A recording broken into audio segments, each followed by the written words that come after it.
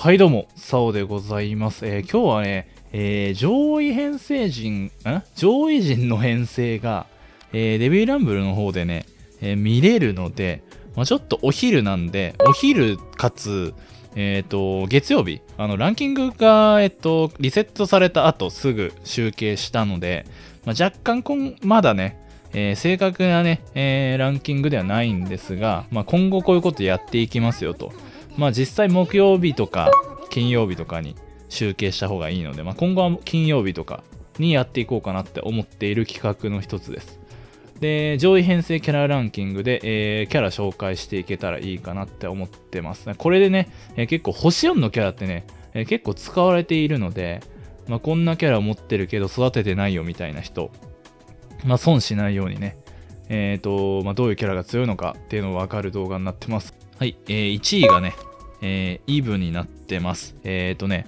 えースキルが強力です。えー水のアタッカーとして、えー編成されている。まあ、これはね、ピックアップされている影響っていうのもあるんですけど、やっぱりイブを主体として水属性でかなり強いキャラが多い。まあ、水属性が持つバフ系統が強いんですね。えー加速とか、えースライドスキルの、まあ、中毒とかが強いので、強力な水をね、えー束ねる、えーリーダーとか、まあ、あとは、アタッカー要員として、えーイブがね、えー使用率がダントツ1位、57%ですね。上位30人中。えーで、次が、えフレイでございます。で、フレイがピックアップされている、まあ、強い闇を束ねるっていうね、意味で、えフレイが上がってきてます。で、フレイのイブより、え良いところは、えーまあ、半減属性がないってところですね。あと、クリティカル率アップなんで、もうこう自身がすごいスキルをね、えー連発すれば強いと。まあ、なので、加速キャラが、えーフレイのお供でいることが多い。というわけで、加速キャラなんですけど、まさかの3位。えー星4キャラでございます。マヤウェルくんですね。これ男の子ですよ。美少年って書いてあるんでね。えーで、えーと、マヤウェルの良いところは、まず入手しやすい。まあ、甲賀とかとあんまり多分、チョークできないんだと思うんですけど、甲賀とは。えー、甲賀より良い点がありまして、まあ、リーダーバフですね。えーリーダーバフ、スキルチャージ量プラス4%を持っているので、まあ、甲賀水属性のみなんですよ。まあ、どういうことかっていうと、マヨエルの方が、まあ、複合パーティー、えー他の属性との噛み合いが良いってことですね。で、スキルチャージ量プラスの、まあ、バフ、加速バフですね。このランダムで味方一体のスキルゲージチャージ速度プラス25%、スキルゲージチャージ量プラス26%。これは、えっ、と、スキルチャージ量プラス26は、まあ、火ダメとか食らった時に、えースキルゲージが溜まりやす、ん溜まりやすくなるか。うん、そうですね。えースキルゲージが溜まる状況においてスキルゲージが溜まりやすくなるスライドスキルと、まあ、スキルゲージを単純に、え速度を上げる、えーノーマルスキルを持ってます。であとはね、HP 回復も一応持ってるっちゃ持ってる10秒間の、まあ、リジェネですね。まあ、75%の確率なんですけどね。まあ、応急処置でも使えるで、かなり優秀なキャラなので、一応星5まで僕も育ててみました。えーかなりおすすめです。出たら喜んでいいキャラかなって。えー限界限界突破もね、しやすいです。はい、次。えー次、4位、アルテミスですね。えっ、と、9人が編成してました。まあ、3分の1ぐらいですね。えーで、自分のクリ率上昇、えー出血のドライブスキル、えーフレイとね、えー2アタッカー編成が可能です。さらに星4なので入手しやすいと。まあ、これ素晴らしいキャラですね。えで、何が強いのかというと、まあ、こいつも、え出血、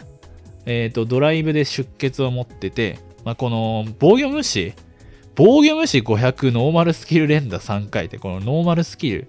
を育てれば、えースライドスキルも強くなるって、このスキルがかなり強くて、まあ、ちょっと運営の人もね、この前なんか、えーノーマルスキルを育てると、スライドスキルが強くなるキャラがいるよ、みたいなことを言ってたんですけど、まあ、まさにこれのことで、さらに防御無視ダメージを持ってると。まあ、これは星4なのかっていうね。まあ、闇パにはかなり必須枠のアルテミスちゃんでした。ダ・コーガ、まあ、花澤香菜さんが CV なんですけど、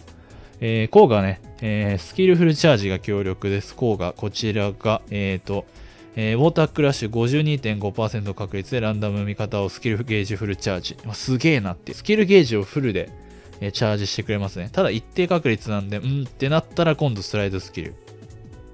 攻撃力の最も高い味方を優先して、スキルゲージチャージ量40%上昇。スライドスキルクルータイムマイナス2秒。強すぎる。なんだこの圧倒的な加速バフはと。で、これを入れると、まあ、イブ、攻撃力高いので、まあ、イブを優先して、えっ、ー、と、スキルゲージチャージ量上げてくれるんで、まあ、そこがまた強いんですね。この、最も高い味方を優先してって、このなんか一文微妙そう、微妙そうというか、まあ、単純に書いてあるんですけど、これめちゃくちゃ強いですね。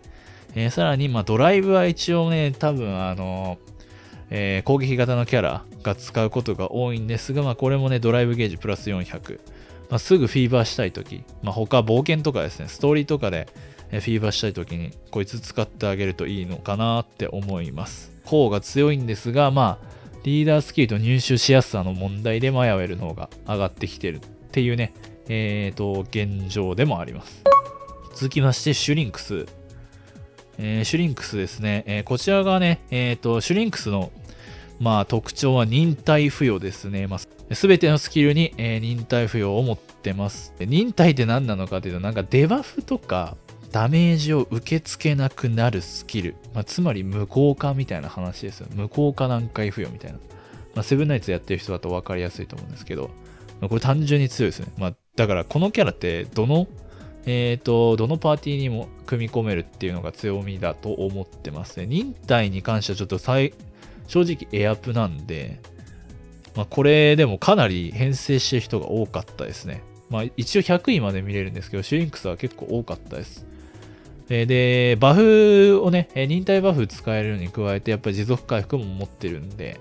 かなり汎用性が高いキャラになってるのかなって思ってます。シュリンクスでした。マルスでございます。防御型ですね。この防御性能はね、ダナをもしのぐと思っています。えー、対象に314ダメージを与えた、与えたダメージ中26%自身の HP として吸収。まず吸収を持っていて自己回復手段が1つ目。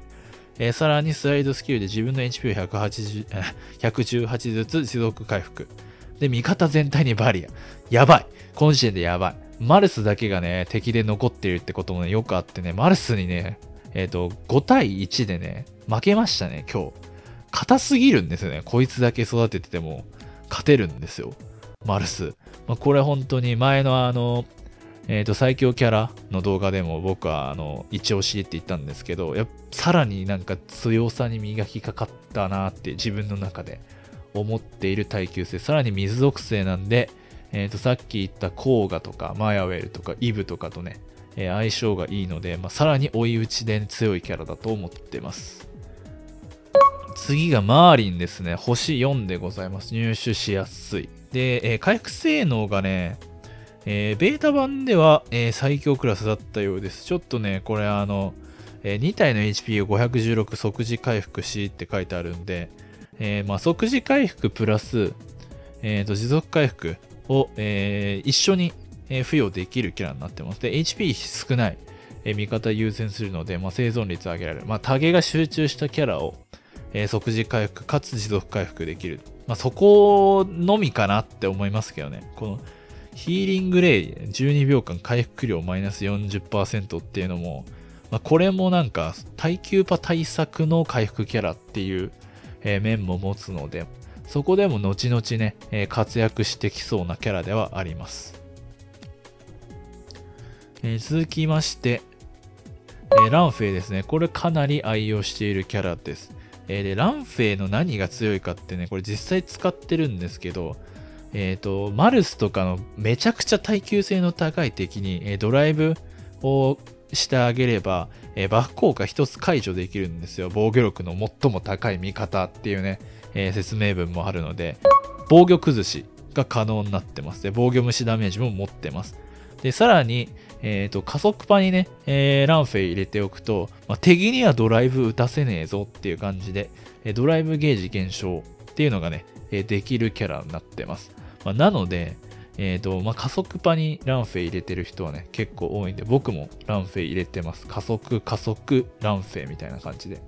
えー、編成するとね、えー、本当にこのキャラはね、なんかあんまり注目されてないですけど、強いデバフ、妨害枠として強いキャラになってます。最後、アリアです。で、アリアの使用率が高い要因は、まずシェアガチャで手に入ることっていうのもあるんですけど、まあ、なんといっても光、光属性でね、いろんな属性に入れやすいのと、まあ、このサンライズ聖者の霊薬、あなたのアリアってこれ、スキルのね、効果が結構ばらけてるんですよ。バリア付与とか、えー防御無視ダメージを与えてじ、えー味方のドライブゲージプラス100みたいな。えーで、さらにドライブゲージプラス10%持続回復みたいなドライブスキルも持ってます。まあこれ何が言いたいかっていうと、スキルがね、えースキル効果が豊富なので、いろんな仕事ができるっていうわけですね。で、えっ、と、アリアしかいないので僕は、えっ、と、マヤウェルとアリアで、加速してドライブ打って勝つみたいなね、え手法をね、今ね、アリーナで取ってるって感じですね。まあ、ここまでが10位のキャラです。で、他はざっと紹介するんですけど、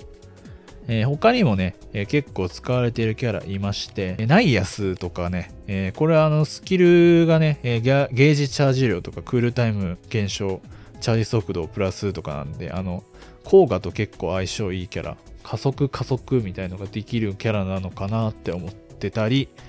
まあ、あとは、